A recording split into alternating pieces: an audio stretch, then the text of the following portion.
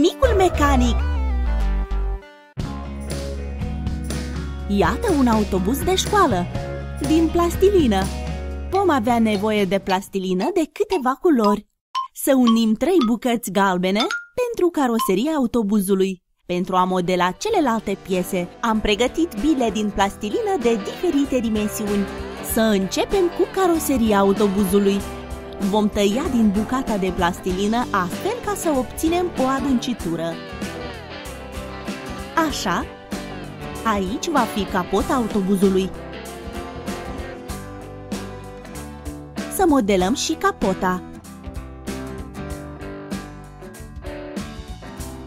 Și o fixăm.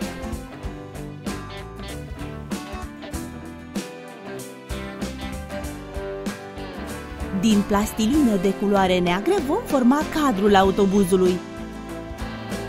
Să unim caroseria și cadrul. Minunat! Începem să modelăm parbrizul. Îl fixăm aici, la locul potrivit.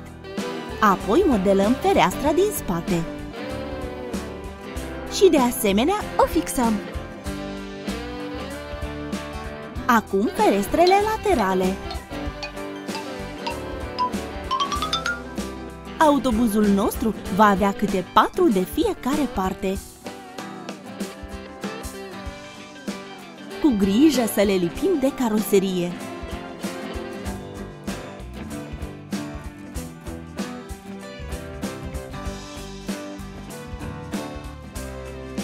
Așa, Din biluțe negre vom face patru dungi lungi și subțiri. Iar acum să le atașăm de părțile laterale ale autobuzului. Câte două de fiecare parte. Și desigur, radiatorul și farurile. Cam așa. Din biluțele roșii formăm lămpile de frână. E frumos autobuzul, nu? În părțile inferioare face marcuri pentru roți. Pentru aceasta putem folosi, spre exemplu, foarfeca. Vom folosi două scobitori ca să facem axele roților. E momentul să modelăm patru roți mari.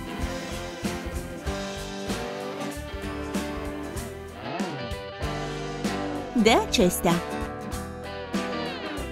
Ca să pară roțile cât mai adevărate, să facem un desen pe banda de rulare a anvelopelor.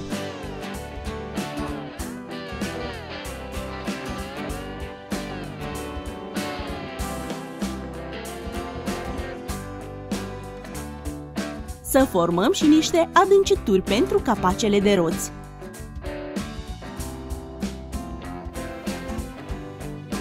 Ei bine, copii, ne-a mai rămas doar să instalăm roțile.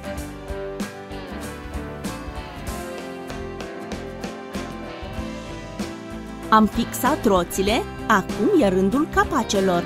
Capacele de roți vor fi galben aprinse, la fel ca și caroseria autobuzului.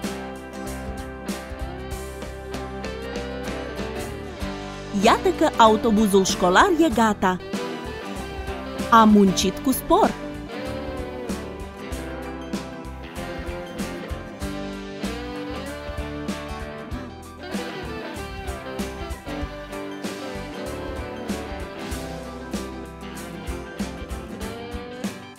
Dacă ți-a plăcut, dă like pentru autobuzul școlar din plastilină.